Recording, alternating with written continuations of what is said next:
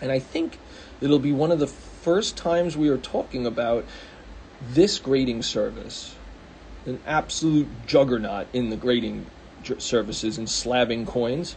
This is a Dwight D. Eisenhower, a 1971S silver Eisenhower dollar, graded proof 69 DCAM. What that means is deep cameo, that is referring to the contrast between the fields and the devices. So, and this is graded by PCGS. PCGS stands for Professional Coin Grading Service. An absolute great slab, one of the big three. And that's great. I'm very excited that on today's show we have the big three grading companies. These are all of them right here. PCGS slab. This is what a PCGS slab looks like. This is what a CACG slab looks like. And this is an NGC slab.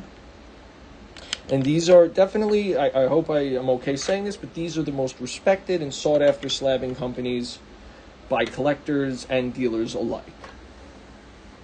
Coin